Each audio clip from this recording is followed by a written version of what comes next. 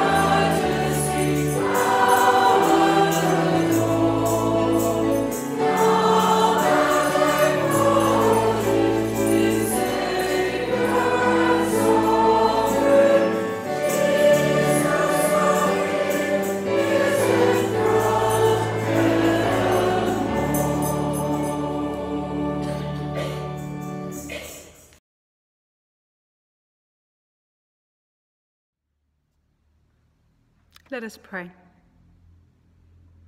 Lord God, you are our King.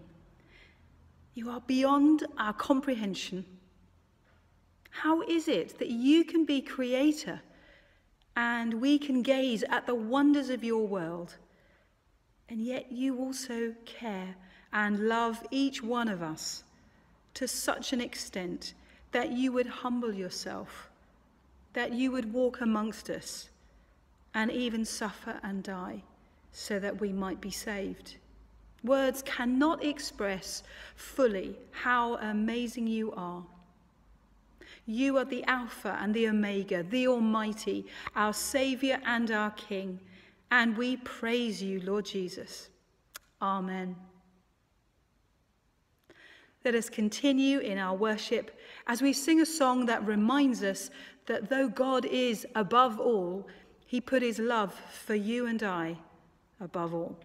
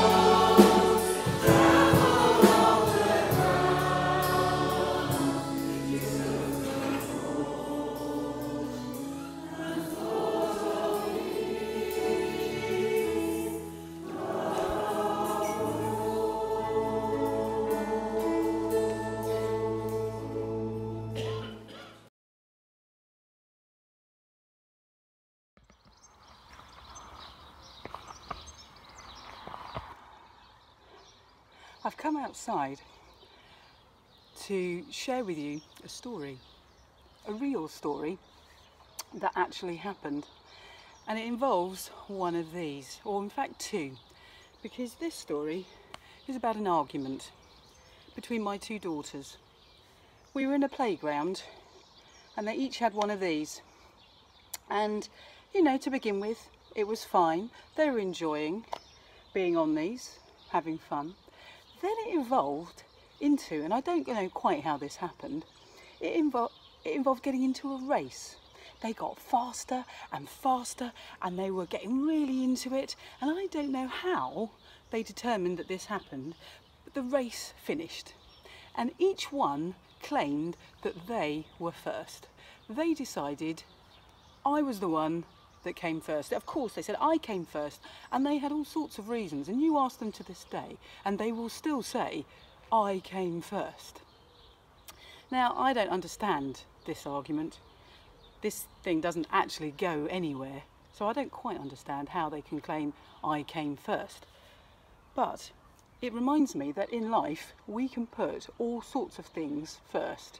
We can claim and rush after and really race after all sorts of things to be first in our lives.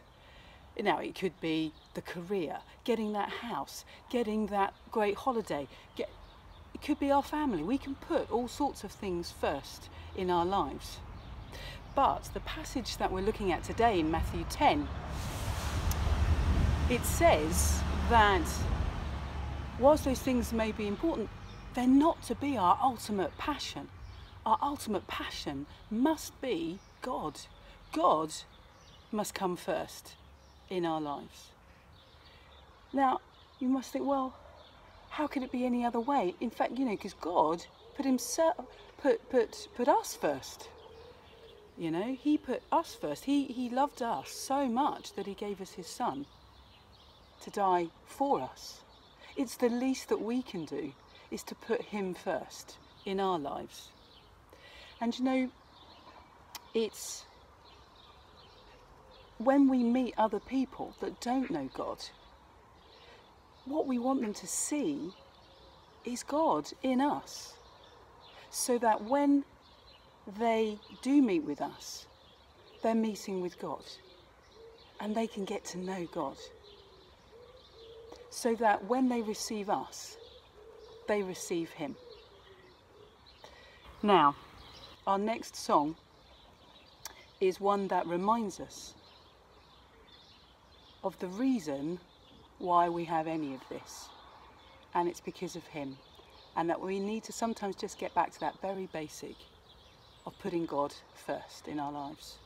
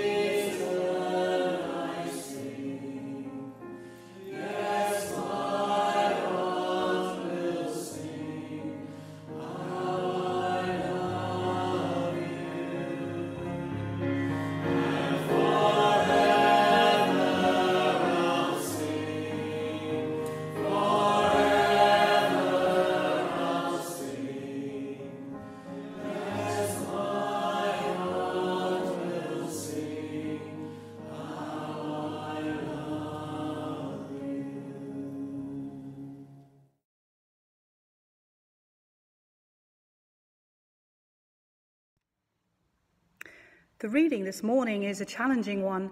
It's one that makes us take a hard look at the perspective that we are to have if we're going to be followers of Jesus. So, over to you, Terry. The reading is taken from Matthew's Gospel, chapter 10, verses 32 to 42. And at this point in the passage, Jesus is in the middle of giving instructions to his disciples.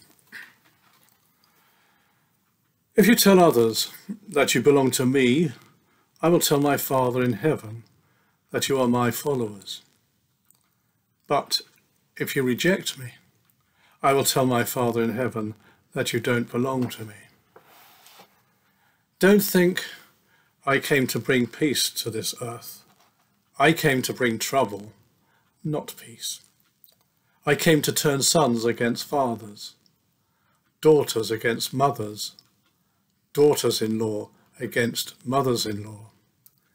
Your worst enemies will be in your family. If you love your father and mother, or your sons and daughters, more than me, you are not fit to be my disciples. and unless you are willing to take up your cross and come with me, you are not fit to be my disciples. If you try to save your life, you will lose it. But if you give it up for me, you will surely find it. Anyone who welcomes you welcomes me. And anyone who welcomes me also welcomes the one who sent me. Anyone who welcomes a prophet just because that person is a prophet will be given the same reward as a prophet. And anyone who welcomes a good person just because that person is good will be given the same reward as a good person and anyone who gives one of my most humble followers a cup of cool water just because that person is my follower will surely be rewarded. This is the word of the Lord. Thanks be to God.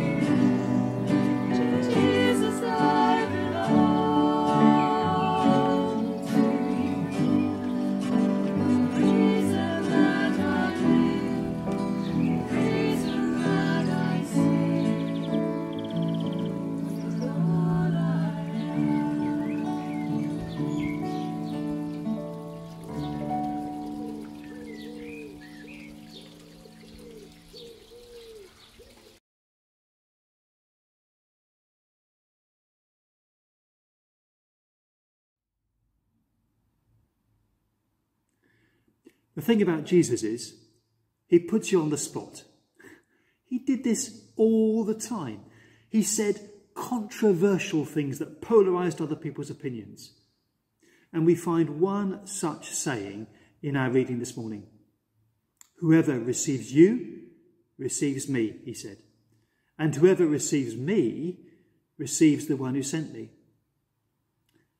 Think about the claim that Jesus is making for himself there.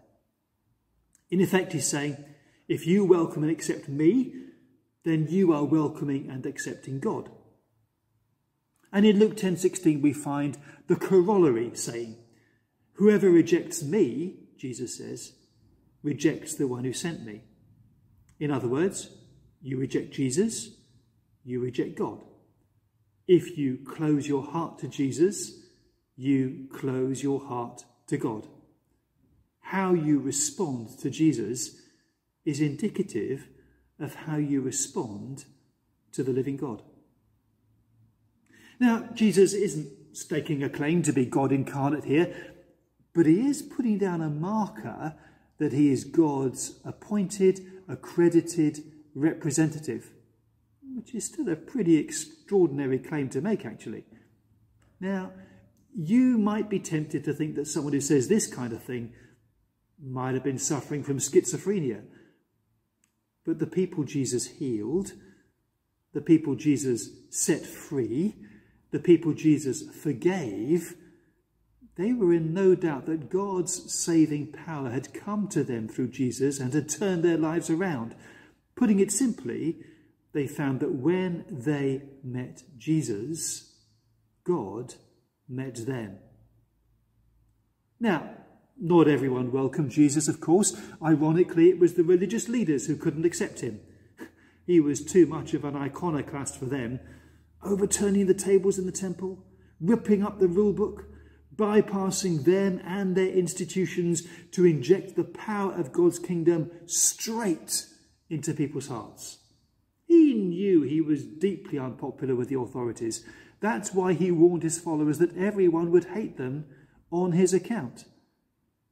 But he also said that whenever they spoke up to defend themselves, the Spirit of his Father would tell them what to say. They wouldn't be by themselves. You see, Jesus didn't just make massive claims on his own account. He says to his disciples, Whoever receives you receives me, and whoever receives me receives the one who sent me. So he's saying that there is a direct correlation between the way people treat you, the way people treat Jesus, and the way they treat God. If people welcome you, then they're welcoming Jesus. And if they're welcoming Jesus, they're welcoming God. If they reject you, then they're rejecting Jesus, and that means they're rejecting God as well. Jesus actually said that Sodom and Gomorrah would get off lightly compared to them. Again, what an extraordinary thing to say. Jesus spoke these words to the 12 apostles just before he sent them out on their mission trip. They went as his representatives, and their task was to proclaim the kingdom of God. Wherever they went, the kingdom of God came near to those people and that place through them. And Jesus, he really threw his disciples in the deep end because he sent them out with no resources of their own. No money, no spare clothes, nothing. That meant if they wanted a meal, if they wanted somewhere to sleep for the night, they were entirely dependent upon other people's kindness and hospitality. They had no choice but to knock on people's doors and make contact. But get this where people made them welcome, where people received them into their homes, they found themselves accepting Jesus and God and the life changing power of the kingdom into their lives as well. When people met the followers of Jesus, and made them welcome, they found that God met them and made them welcome in his kingdom. And, and do you know what's on God's heart for Horsham, for, for the people living in, the ro- in your road, the people around you? He wants so to fill you with his spirit and with his presence that when people meet you, they encounter God in you and God through you. Now, it may be they don't actually want that, so they're quite happy to keep you at arm's length. Even without the coronavirus, anything less than two metres, and they start to feel really uncomfortable. And although God wants to bless them through you, some people just aren't interested, thank you very much. But others, others will be open to God. And your prayer for them should be, Lord, how do you want to touch this person's life through me? Jesus wants you to be his ambassador. And the definitive definition of the role of an ambassador was thrashed out at the Congress of Vienna in 1815. It was an international convention called to bring peace to Europe after the Napoleonic Wars. That Congress determined that ambassadors represented the person and dignity of their sovereign and were entitled to personal access to the sovereign to whom they were accredited. I think that's an excellent description of what it means to be a follower of Jesus. In your day to day living, in all your engagements with other people, you represent Jesus to them. People who haven't got a Bible, people who've never set foot inside a church, they encounter Jesus, they encounter God's kingdom when they meet you. And if that all feels a bit daunting, then think of how those first disciples must have felt when Jesus sent them out with no resources of their own to rely on at all. Perhaps it was only because they were put in a situation where they couldn't be self sufficient that God was able to use them in the way that He did. So, you, you are Christ's ambassador. You represent the person of your sovereign your Lord to everyone you meet. That's your privilege. That's your responsibility to Him. And, and, what was the other thing about ambassadors? They were granted personal access to their sovereign. Well, that goes for you too. When you pray, you are given personal access to the King of Kings. That's quite a thought as well. So, on that note, Ed, can I ask you to lead us in prayer?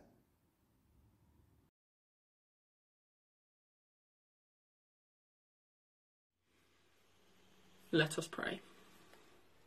Lord, with the lockdown being eased, I pray for common sense and that people are sensible in their actions. To remember that there is still social distancing that needs to be adhered to, and that while they may be safe, they could still harm someone else, and that we're doing this for all of us and not just for ourselves. And we remember those who have lost family members, whether it's friends, family, uh, and just pray that you are with them, with the friends and family, to bring them peace in this difficult time of mourning. Uh, pray for the Black Lives Matter situation around the world. Um, just that we can continue to see progress being made towards a better a better world where people can feel safe in their own skin. Um, I pray for the police that that the police can members among the police who might want to harm people can see the errors of their ways and realize remember that they're here to protect the people, not make the people feel scared. Um, and just in these protests, just keep them peaceful um, and keep them productive and full of love rather than hate. Um, I pray for the situation in Yemen, uh, this humanitarian crisis. There are so many people who need so much help. Um, I just pray that y- your hand can move and as a as the world can can come to their aid. Um, and in all of these things, I pray for the political leaders of countries around the world that the decisions they make, um, whether it's to do with the coronavirus, that they're, they're for the good of the people, not for the good of money. Um, and with the Black Lives Matter protest, that the decisions are made that keep people safe and work towards uh, just a better world and freedom. And in Yemen, this situation is seems to be largely ignored, and I just pray that it gets the attention it needs because there are millions and millions of people who need help. Um, Lord, in your name we pray. Amen.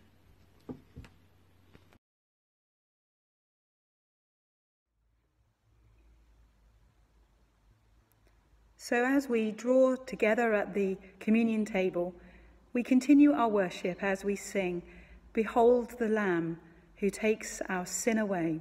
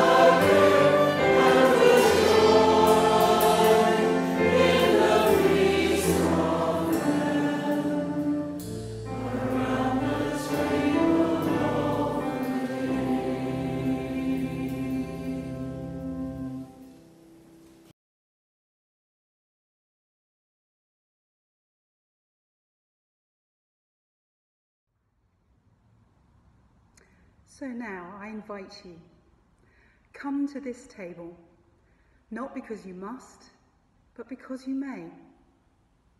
Not because you are strong, but because you are weak. Come not because of any goodness gives you the right to come, but because you need mercy and help. Come because you love the Lord a little and would like to love him more. Come because he loved you and gave himself for you. Come and meet the risen Christ, for we are his body. Let's pray.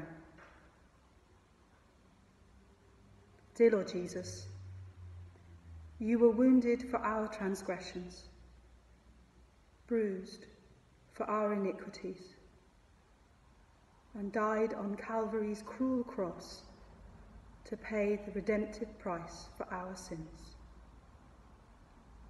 As we come to this communion table today, we kneel before you in grateful remembrance of what you did for us at Calvary, with hearts full of humble thanksgiving. And Lord God, we are sorry that all too frequently we forget to credit you with all you have done in our lives. We forget to put you first in our lives. We're sorry that we neglect our relationship with you and let you down by not being the salt and light you call us to be.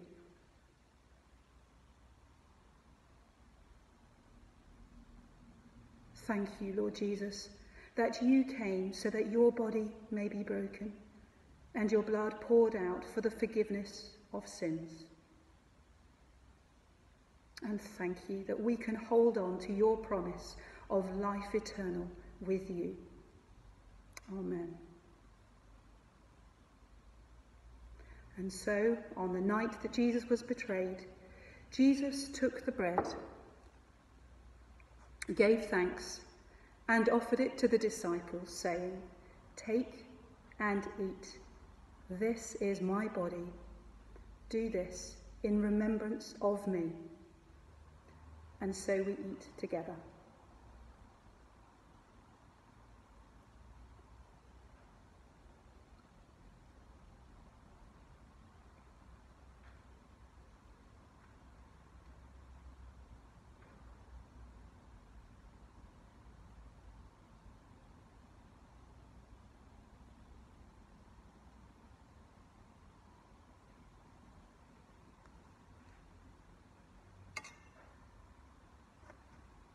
And in the same way, Jesus took the cup, gave thanks, and offered it to them, saying, Drink from it. This is my blood of the covenant, which is poured out for you. And so together we drink.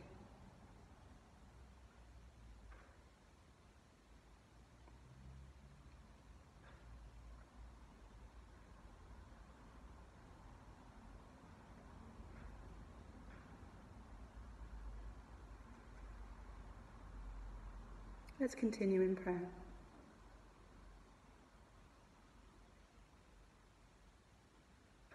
Lord Jesus, what a privilege to be able to come before your throne of grace and take of these precious elements of bread and wine in remembrance of you. May we never forget the enormous price that was paid on our behalf. May we never forget that we have been bought with a price, the precious blood of the Lord Jesus Christ. May we live for you from this day on, knowing that your body was broken and your blood was spilt for us. Thank you, Lord. In Jesus' name. Amen. And so, let us go out into this week looking to Christ as our example, so that others might see by what we do and how we do it what transforming power it is to know Jesus Christ. Our closing hymn is I Will Sing the Wondrous Story.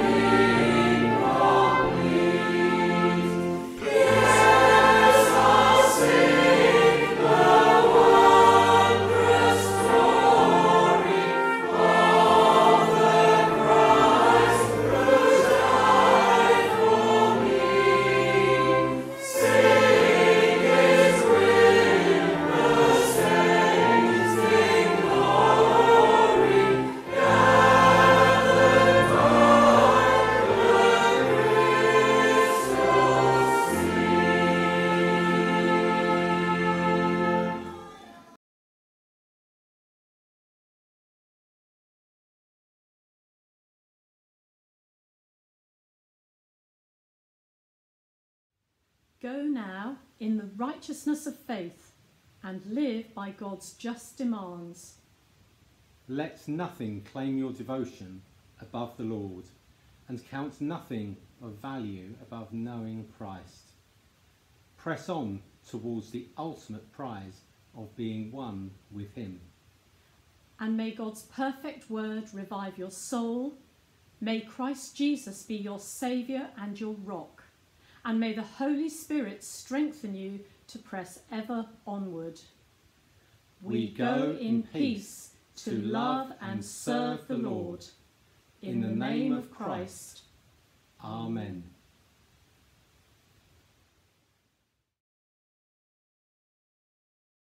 Take my life and let it be consecrated, Lord,